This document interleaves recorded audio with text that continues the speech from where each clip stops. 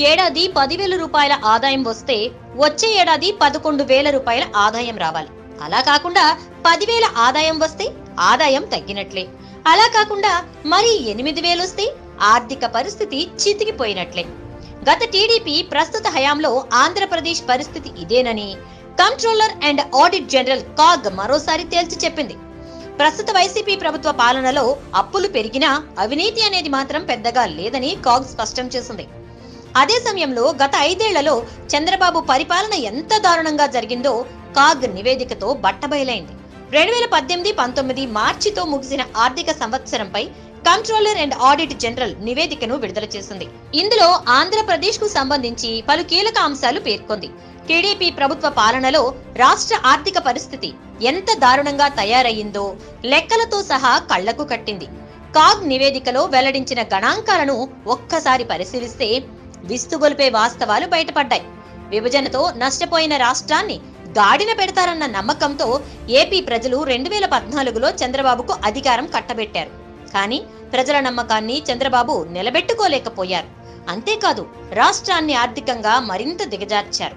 రాష్ట్ర ఆర్థిక నిర్వహణను గత టీడీపీ సర్కార్ పూర్తిగా గాలికి వదిలేసింది. రెండేళ్ళలో చేబదుళ్ళకు భారీగా వడ్డీలు చెల్లించింది. ఇది నారా చంద్రబాబు నాయుడు అస్తవ్యస్త ఆర్థిక నిర్వహణ విధానాలను రుజువు చేస్తోంది.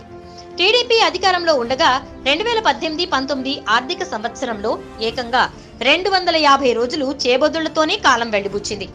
అదేవిధంగా రెండు వేల పదిహేడు పద్దెనిమిదిలో కూడా చేబదుళ్ళు అయినటువంటి ways and means overdraft సకాలంలో చెల్లించకపోవడంతో నలభై నాలుగు కోట్ల మేర వడ్డీ కట్టాల్సి వచ్చింది అలాగే రెండు వేల పద్దెనిమిది పంతొమ్మిది ఆర్థిక ఏడాదిలో కూడా టీడీపీ ప్రభుత్వం చేబదుళ్ళను సకాలంలో చెల్లించకపోవడంతో అరవై నాలుగు కోట్ల మేర వడ్డీ భారం ఖజానాపై పడినట్లు కాగ్ వివరించింది. చంద్రబాబు సర్కార్ ఐదేళ్ళ పాలనలో చేసిన అప్పులను ఆస్తుల కల్పనకు వ్యయం చేయకుండా ఇతర అవసరాలకు వినియోగించింది. దీంతో అప్పులు పెరిగిపోయాయి తప్ప ఆస్తుల కల్పన తగ్గిపోయింది. ఈ విషయాన్ని కూడా కాగ్ తన నివేదికలో ఎత్తి చూపింది.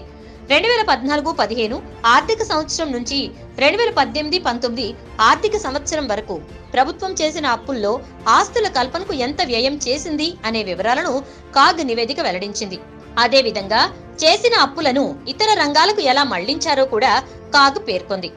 రెండు వేల పద్నాలుగు పదిహేనులో అయితే చేసిన అప్పుల్లో సగం కూడా ఆస్తుల కల్పనకు వ్యయం చేయలేదని స్పష్టం చేసింది. ఇక చంద్రబాబు ప్రభుత్వం ఐదేళ్ళలో చేసిన అప్పులు ఆస్తుల కల్పన వ్యయం ఒక్కసారి పరిశీలిస్తే రెండు వేల పద్నాలుగు పదిహేను సంవత్సరానికి గాను ఇరవై ఒక్క వేల నాలుగు వందల ఎనభై ఒక్క కోట్లు అప్పు చేయగా ఆస్తుల కల్పనకు కేవలం ఏడు వేల రెండు వందల అరవై ఐదు కోట్లు మాత్రమే ఖర్చు చేశారు. రెండు వేల పదిహేను పదహారు ఏడాదిలో ఇరవై రెండు వేల మూడు వందల డెబ్బై ఐదు కోట్లు అప్పు చేయగా అందులో పద్నాలుగు వేల ఎనిమిది వందల నలభై ఐదు కోట్లు మాత్రమే ఖర్చు చేశారు. రెండు వేల పదహారు పదిహేడు ఏడాదికి గాను ముప్పై వేల ఏడు వందల అరవై తొమ్మిది కోట్లు అప్పు చేయగా అందులో పదిహేను వేల ఏడు వందల ఎనిమిది కోట్లు మాత్రమే ఆస్తుల కల్పనకు ఉపయోగించారు. ఇక రెండు వేల పదిహేడు పద్దెనిమిది ఏడాదిలో ఇరవై ఎనిమిది వేల రెండు వందల మూడు కోట్లు అప్పులు ఉంటే అందులో పదహారు వేల రెండు వందల డెబ్బై రెండు కోట్లు మాత్రమే ఖర్చు చేశారు.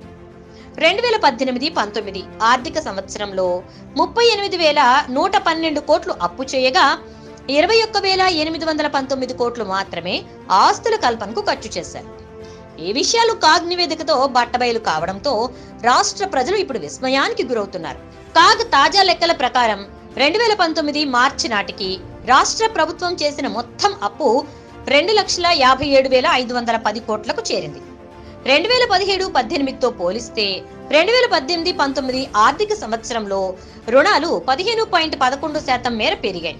అంతేకాదు తీసుకున్న రుణాలతో పోలిస్తే తిరిగి చెల్లించాల్సిన రుణాల నిష్పత్తి తగ్గినట్లుగా గుర్తించింది. కొత్తగా చేసిన అప్పు అంతా పాత అప్పు తీర్చేందుకే వినియోగించడం తగ్గిన విషయాన్ని ఇది సూచిస్తోంది. అప్పుల కోసం ప్రభుత్వం ఇచ్చే గ్యారంటీలు కూడా పరిమితికి లోబడే ఉన్నాయని. రాష్ట్ర ప్రభుత్వానికి రెవెన్యూ వసూళ్ళ మొత్తంలో తొంభై శాతం వరకు అప్పులకు ప్రభుత్వం గ్యారంటీ ఇవ్వచ్చు అంటోంది. ఆ కోణంలో చూసినప్పుడు రెండు వేల పదిహేడు పద్దెనిమిది ఆర్థిక సంవత్సరంలో ఒక లక్ష ఐదు వేల అరవై రెండు కోట్ల మేర రెవెన్యూ వసూళ్ళు ఉన్నాయి. అందులో నలభై తొమ్మిది వేల నాలుగు వందల నలభై రెండు కోట్ల అప్పులకు మాత్రమే రాష్ట్ర ప్రభుత్వం గ్యారంటీ ఇచ్చింది. తొంభై శాతం వరకు పరిమితి ఉండగా నలభై ఏడు శాతానికి మాత్రమే పరిమితమైనట్లు కాగ్ చెబుతోంది.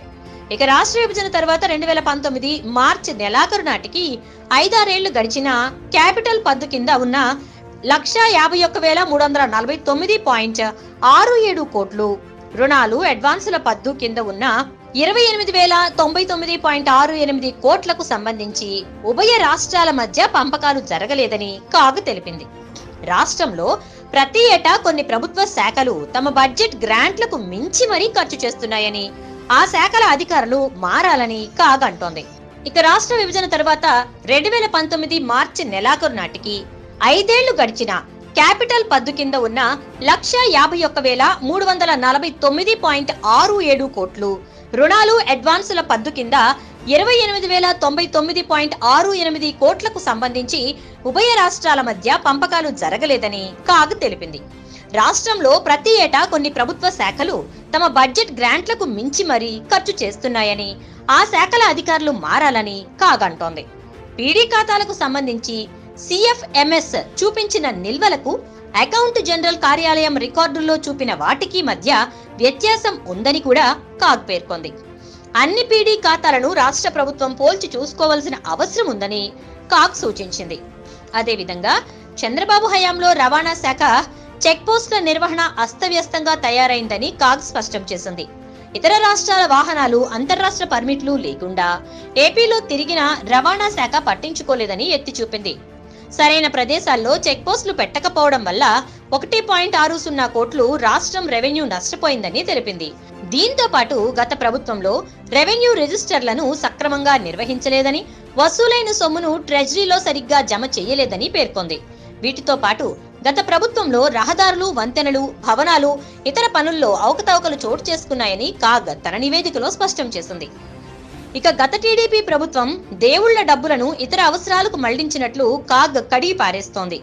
చంద్రబాబు ముఖ్యమంత్రిగా కొనసాగిన రెండు వేల పద్నాలుగు పద్దెనిమిది కాలంలో వివిధ ఆలయాలకు చెందిన దేవుళ్ళ నిధులను ప్రభుత్వ అధికారులు ఉపయోగించే కార్లకు కొన్ని ప్రైవేట్ ఆసుపత్రులకు గ్రాంట్ రూపంలో ఆర్థిక సహాయం చేసేందుకు మళ్ళించినట్లుగా కంట్రోలర్ అండ్ ఆడిటర్ జనరల్ స్పష్టం చేసింది. ఈ మేరకు ఆలయ నిధుల అక్రమాలకు సంబంధించి కాగ్ తన నివేదికలో మొత్తం పదహారు పేజీలలో వివరించింది. అంటే టీడీపీ హయాంలో ఎన్ని వందల కోట్ల రూపాయలు దారి మళ్ళాయో అర్థం చేసుకోవచ్చు. అలాగే చంద్రబాబు హయాంలో ఎక్సైజ్ శాఖలో జరిగిన అవినీతిని కూడా కాగు వివరించింది. లోపభూయిష్టంగా జరిగిన పన్నుల వసూళ్ళ నమోదైన కేసుల్లో అవకతవకలను ఎత్తి చూపింది. టీడీపీ పాలనలో మొత్తం నలభై ఒక్క కేసుల్లో ఆరు పాయింట్ ఏడు ఒకటి కోట్ల మేర ప్రభుత్వ ఆదాయానికి గండి కొట్టినట్లు నిర్ధారించింది. కాగ్ ఎత్తి చూపిన తప్పులను ఎక్సైజ్ శాఖ కూడా అంగీకరించడం గమనార్హం. మొత్తానికి ఈ విధంగా చంద్రబాబు ప్రభుత్వం చేసిన ఘనకార్యాలతో ఆంధ్రప్రదేశ్ మరో ఆరేళ్ళలో అంటే రెండు వేల ఇరవై ఆరు చివరి నాటికి ఒక లక్ష మూడు వేల ఐదు వందల యాభై కోట్ల రుణం తీర్చాల్సి ఉంటుందని కాగ్ తేల్చి చెప్పింది. రెండు వేల పంతొమ్మిది మార్చి చివరి నాటి గణాంకాలను పరిగణనలోకి తీసుకుని కాగ్ ఈ నిర్ధారణకు వచ్చింది. ఈ రుణాలను చెల్లించడానికి రాష్ట్ర ప్రభుత్వం అదనపు రెవెన్యూ వనరులను సమకూర్చుకోవాల్సి ఉంటుందని తెలిపింది. ఈ అప్పు తీర్చడానికి ప్రణాళికలు లేకపోతే ఇబ్బందులు తప్పవంటోంది. ఈ మేరకు రెండు వేల పంతొమ్మిది మార్చితో ముగిసిన ఆర్థిక సంవత్సరం రాష్ట్ర ఆర్థిక పరిస్థితిపై కాగ్ రూపొందించిన నివేదిక అసెంబ్లీకి రావడంతో ఈ విషయాలు వెలుగులోకి వచ్చాయి.